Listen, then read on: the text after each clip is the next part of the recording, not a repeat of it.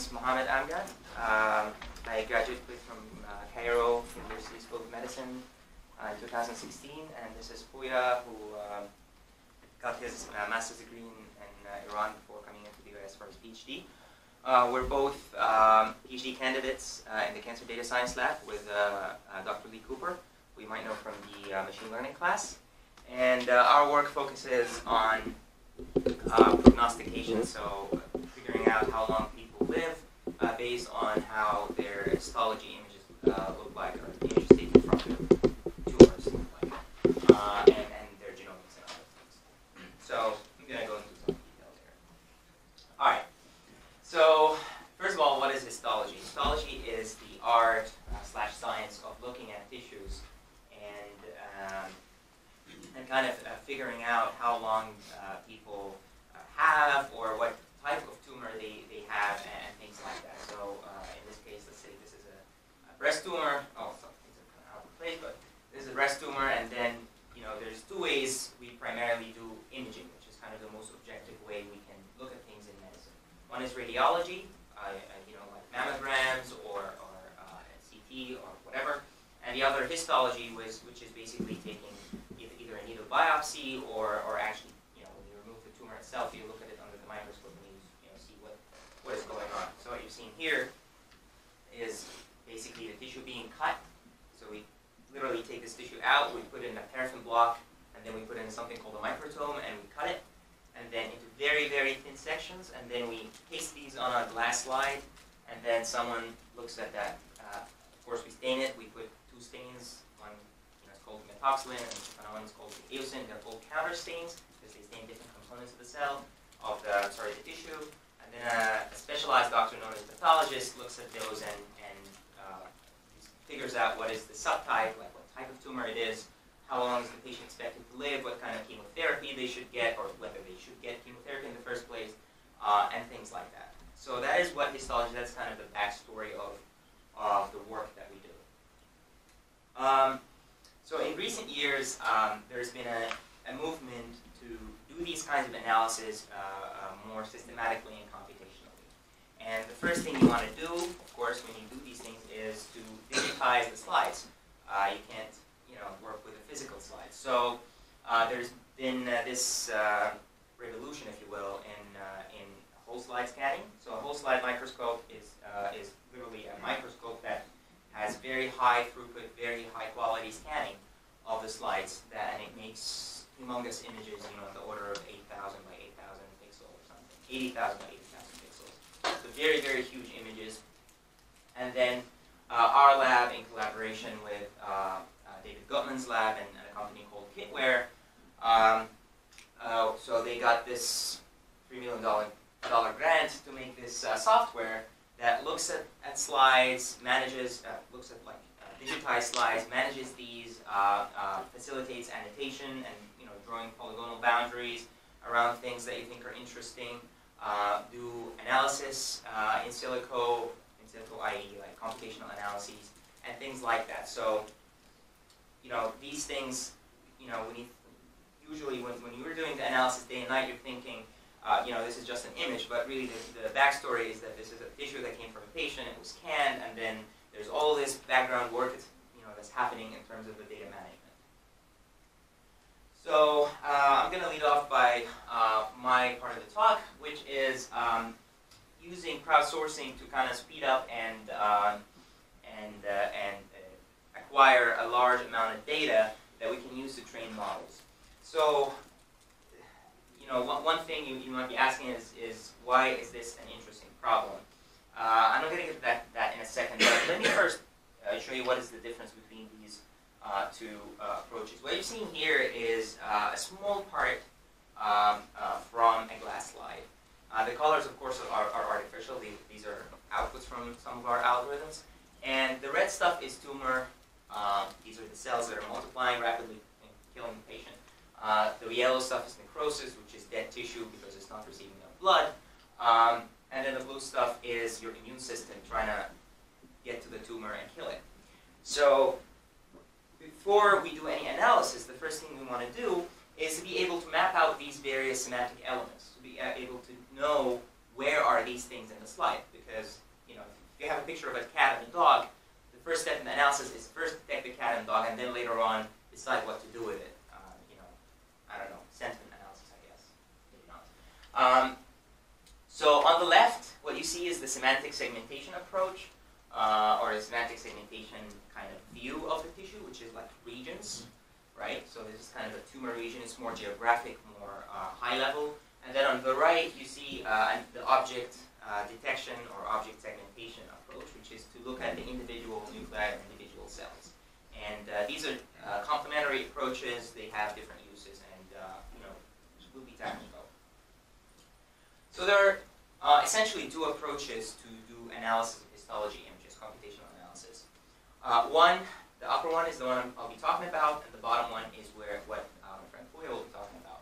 So the upper one, which is learning from semantic representation, means you first extract these elements from the tissue. You first know that this is tumor, that this is lymphocyte, that this is a, uh, a macrophage cell. You, you know what these elements are, and then you have a model that takes these representations in and learns to predict outcomes or learns to predict gene expression or various things about your patient.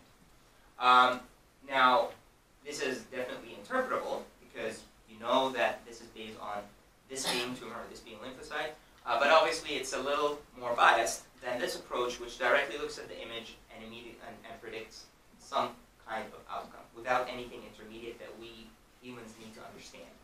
So uh, these two approaches kind of have this balance between um, accuracy and or yeah, accuracy, if you will, and interpretability, and we kind of try to tackle both ways. Um, so the work I'm presenting now is based on a, on a paper that we just published in Bioinformatics with 30 co-authors. And uh, the reason there's 30 co-authors is because there's uh, 25 people who did the annotation. So just before I begin anything, I just want to acknowledge their contribution. Uh, really, without their help, uh, you know, nothing would be possible. Uh, another uh, disclaimer, a lot of this work was co-funded by the company Roche, which is one of the pharmaceutical giants, and I go back and forth there. Um, they, they fund the, the work, so necessary disclaimer. Um, first of all, so why the hassle? Uh, why, why do we care about this kind of thing? Um, well, let me jump, jump in here. Uh, you probably are all familiar with ImageNet uh, and the various, you know, COCO, you know, all, all these data sets that we use in, in, in imaging. And these are usually, you know, multi-million image data sets that people use to train image analysis algorithms. Um, and the way these are annotated, so probably familiar with convolutional network. You take an image, uh, it goes through a series of filters, and then it uses uh, uh, gradient backpropagation to kind of, uh, in an unbiased way, learn how to map an image to a series of probabilities. You know, uh, whether it's dog, cat, etc. Um, the problem is that these models need lots and lots of examples to train.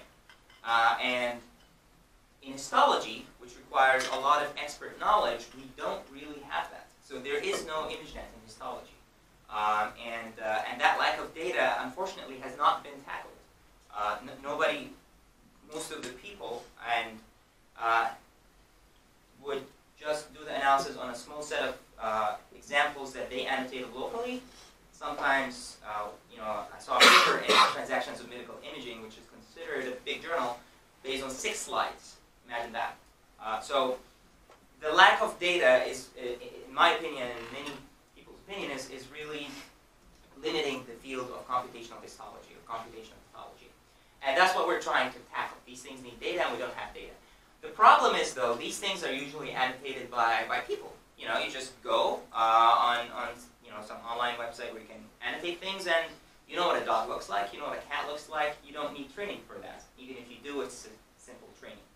Uh, unfortunately, in histology, this is not exactly the case. So what you're seeing here is, is a very normal example where it's, it's not just the color, it's not just the texture, but there are all these subtle patterns. So this is tumor, this is actually not tumor, these are activated stroma, these are um, uh, fibroblasts, which are like things that make the supporting tissue that were irritated by the tumor surrounding and they gained this phenotype or this shape. So it's not very clear how you can do that in histology without experts. Then expert time is very expensive. So that's the backstory. Uh, and that led to calls for open access, large-scale annotation data sets. Um, and this was, you know, actually published a while back. I think it was in 2013, was it? 2015. Um, and, you know, the human genome was sequenced in 2001, uh, and, you know, ImageNet has been around for quite a while now, uh, but really nothing of that sort in histology. So, um, you know, people have been thinking about crowdsourcing, and we were not the first to uh, contemplate the idea of crowdsourcing. So, um, of course, in non-medical domains, there are people that uh, have been using crowdsourcing, obviously, for things like ImageNet and, and whatnot. Uh, but even in pathology, there has been some work um, for doing it, but unfortunately, most of the work was based on very simple, either uh, either just uh, image classification in, in small patches, uh, or, or, or in the background of you know uh, malaria, that things where you, you, know there are no experts and, and you just want a very small, uh, quick data set. So it was not really systematically examined at all. Uh, the only things reminiscent of uh, an approach to this uh, were a study by Andy Beck's lab, and then they it was a small scale study again based on very small images, not these whole slide images, that showed that they they were able to use non-experts to reach kind of similar concordance to pathologists. And that was kind of the backstory of, we decided, all right, you know, this may work, uh, but let's see if we can scale this up and we can uh, systematically examine it and so on. Um, there is large-scale data set, only one large-scale data set known as the Camelyon data set that was published in uh, 2016, and it, it basically, um, when people have breast cancer, sometimes they get metastasis, which is cancer spreading to their lymph nodes. And this looks at um, examining the small pieces of cancer in a lymph node. Um, this was uh, not annotated by non-experts. It took a humongous amount of effort, a whole swath of, of uh, pathologists annotating, and uh, it was done at low power, so it's also not, it was a binary problem, so it's also not a, uh, a proper uh, annotation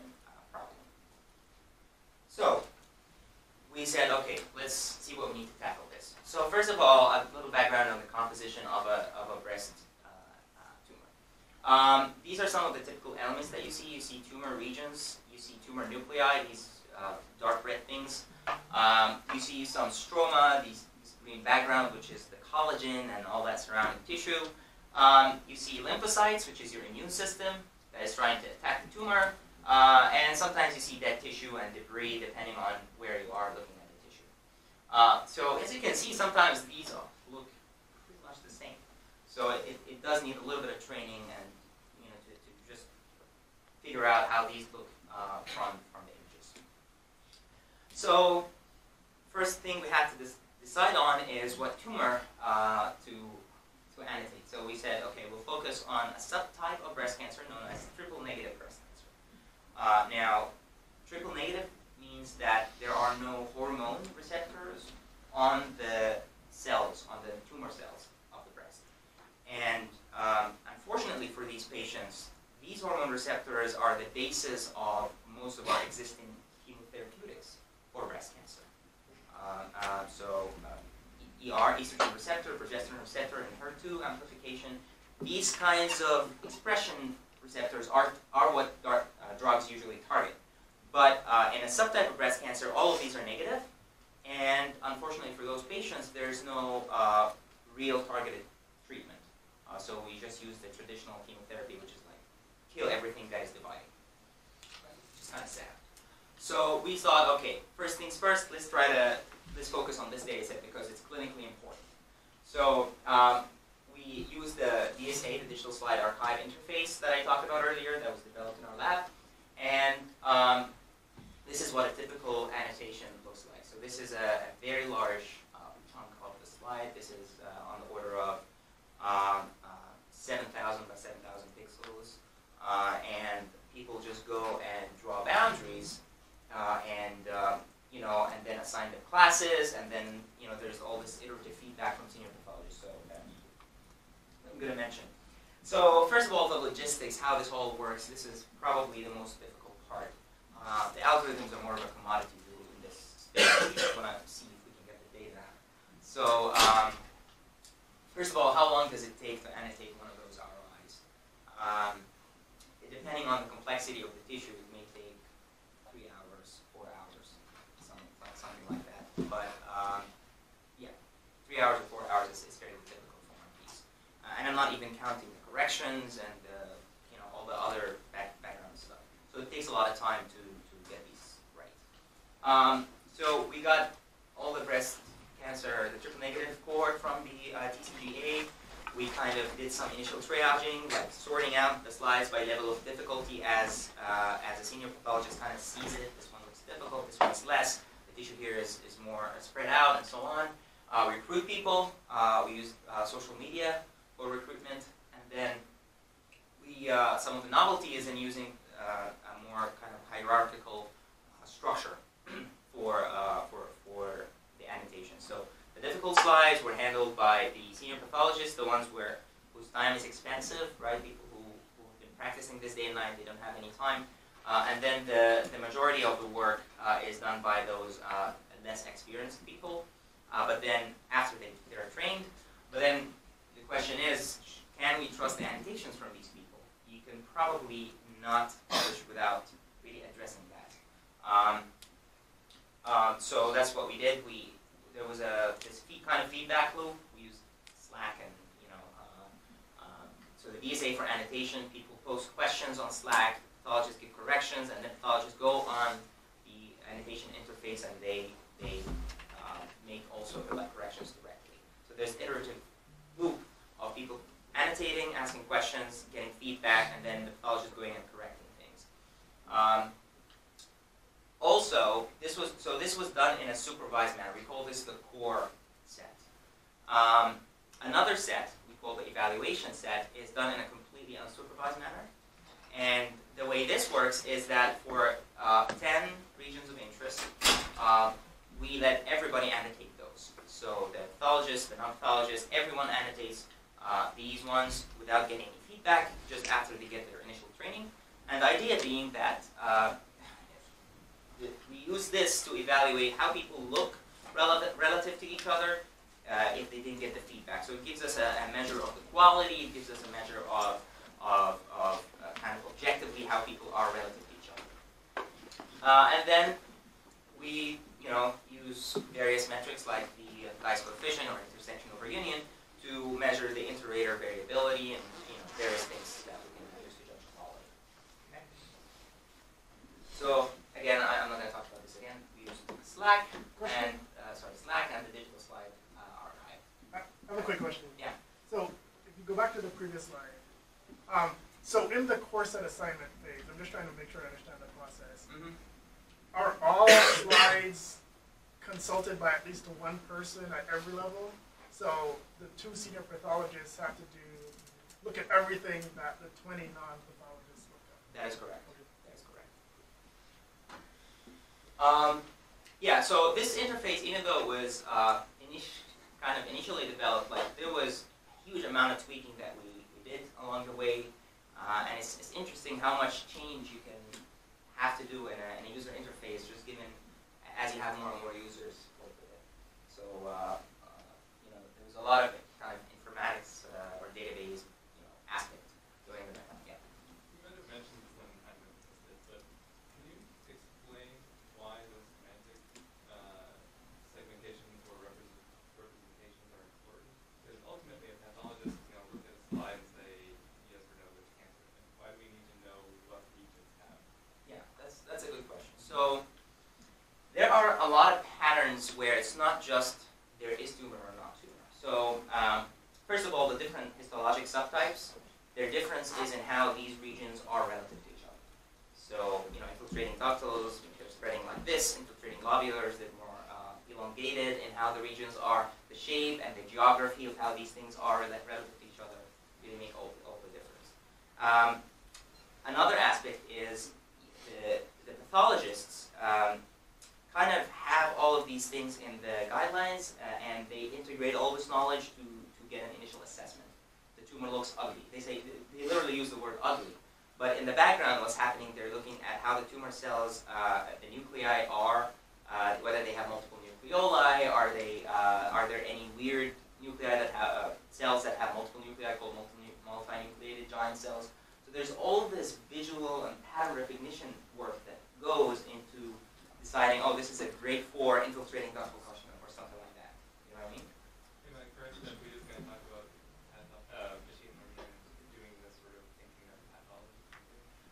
Um, so the machines are taking over.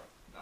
But in a way, what we really hope to achieve is to have something to work on either assisting pathologists, finding these things more objectively, uh, or finding things that are just not possible to find using just a human observer, like spatial relationships, clustering, these kinds of things, and then link them to various outcomes.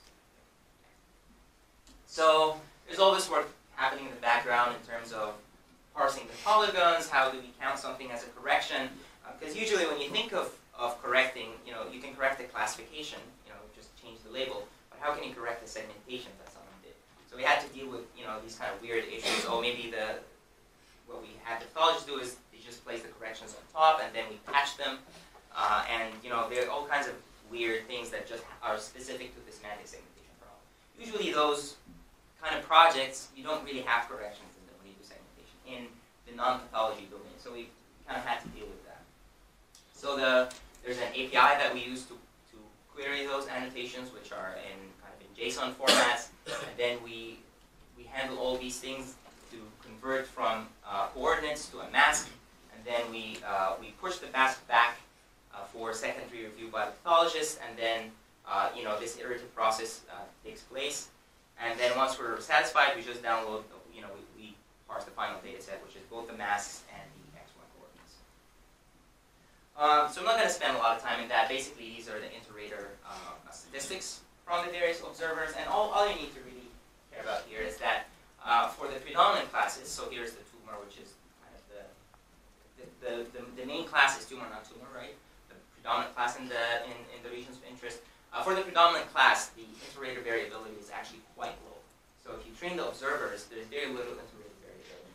Um, there is high inter-rater variability for subjective classes like lymphocytic infiltration or necrosis or the whatnot. Uh, and that's kind of really the main theme that, that you know I want you to get out of here is that so the pink ones are the non-pathologists, the blue ones, the, these light blue and the, and the dark pink are the pathologists, and you can see the difference between the two senior pathologists is similar to the distance between any non-pathologist. That's kind of the main thing. Uh, another thing we did is we just did two-dimensional embedding, you know, multi-dimensional scaling of the data. So this is just looking at the discordance values uh, so that we can represent each person, each person's segmentation as a, um, a pair of coordinates. And uh, again, you see senior pathologists, the distance between them and their location relative to everyone else is, uh, you know, that, you can't systematically see any clustering by experience. That's the key idea. So what do we do with this data? Uh, we, we said, okay, let's, let's try to use this. So we used something called a fully convolutional network, or FCN, which is basically, most people are familiar with, with uh, you know, convolutional neural networks, which is this part. Uh, a fully convolutional network, uh, basically, after doing a series of convolutions, which decrease the size, we do a series of uh, transpose convolutions, uh, which essentially blow up. It's, uh, it's called learned upsampling. You learn how to increase uh, the size because, as you know, max pooling and all these um, operations decrease the, the feature map. So we learn to upsample those. So that's that's that's really we, did, we didn't invent that. That's, that's been there for a while. And then the, what the FCN outputs is a, a feature map that is as big as the original image, uh, but with as many channels as there are classes. So each pixel gets a probability map, softmax probability map, of being assigned, being in one class or the other class, right? A class, right? So it's, a, it's like a classification problem, but for each pixel. So uh, the boring stuff like data wrangling, we, uh, we focus our analysis on a subset of the data, the infiltrating ductals, uh, which is kind of a, a, a kind of more uni- to more uniformly train the model. You don't want to train the model on two different problems, right? Um, we uh, focus on uh, five key classes, so it's a five class classification problem.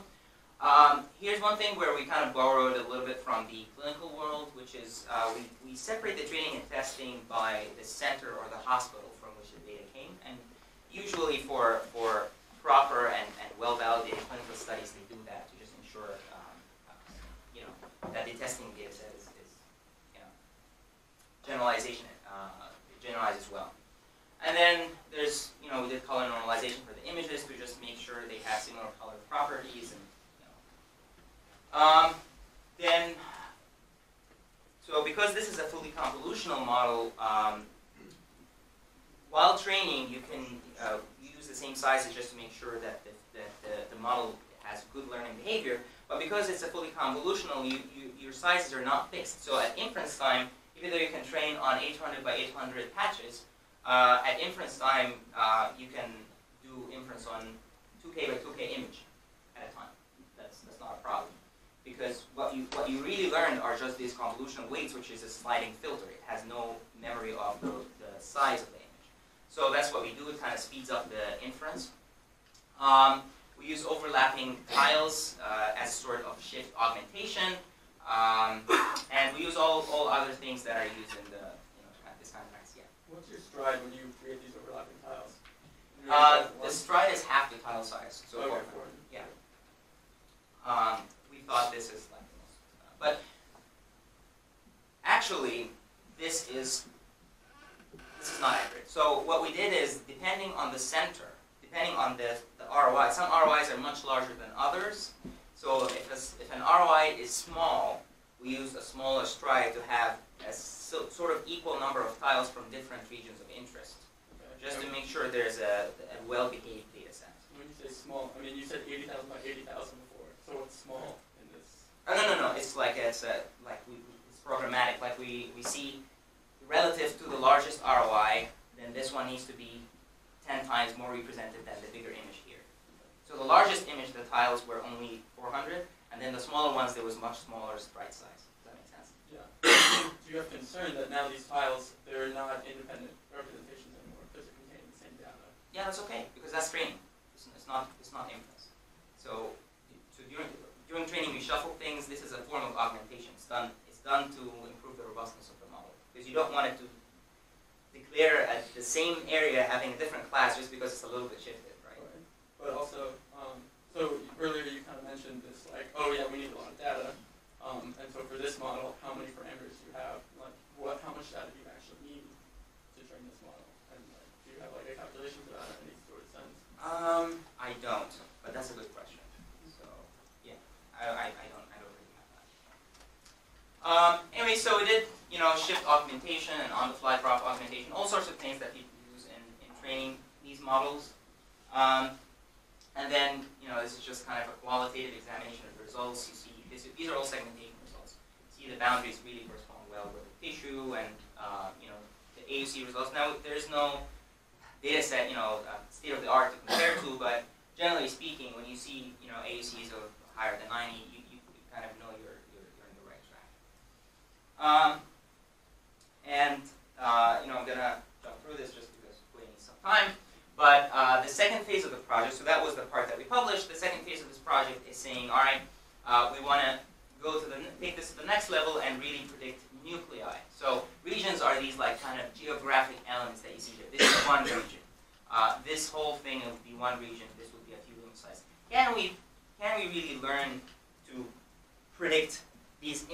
individual elements, these individual objects objects? Now you can see this is a kind of a harder uh, problem because there's much more of them. It's hard to get data and to know where to focus in the slide. So we came up with this kind of scheme for um, initializing the models for, or, or the annotations for people. So we take a region, so we have this region mask, and then we use uh, traditional image processing, Gaussian smoothing and thresholding, and, and you know all sorts of uh, traditional processing to to get a, an initialization of, of the annotation. So we, we say we think this is a tumor, we think this is the, its segmented boundaries. Now this is of course going to be very noisy, uh, but the point is to just have something for people to start with. Uh, so given this initialized, uh, you know, object detection and object segmentation map, we select fields of view, also programmatically based on the confidence of the classifier. So what we use here is after we get these um, noisy annotations, we use them to train uh, something called a mask RCNN, uh, which is an object detection and segmentation model. Again, we didn't invent that. And then based on the object, uh, based on the classifier confidence, we kind of know which FOVs are kind of more problematic in learning.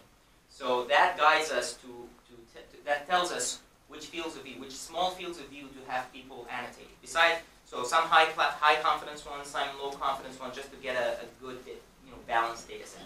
And given that, we have people correct things, and instead of them drawing boundaries, they can just, for example, place a dot and say, okay, this is a good segmentation, this is a bad segmentation. Um, yeah, so this has been going on for maybe three weeks now. We have 39,000 objects that have been annotated so far. Uh, we expect uh, at least 10 times that number, so, uh, you know, as more people annotate things, you know, things really scale up. And then this was a small analysis that we did using uh, some preliminary data that we had, just showing that when we when we calculate something called TILs, the tumor infiltrating lymphocytes, uh, we can get similar separation on a survival curve as a pathologist would do, and the inter-observer variability between pathologists among each other for detecting these TILs is actually, the correlation is even lower than we get from a computational algorithm with the consensus of the pathologist. So sometimes when you really get these things right, you can, uh, you can improve the uh, objectivity and, and consistency by which you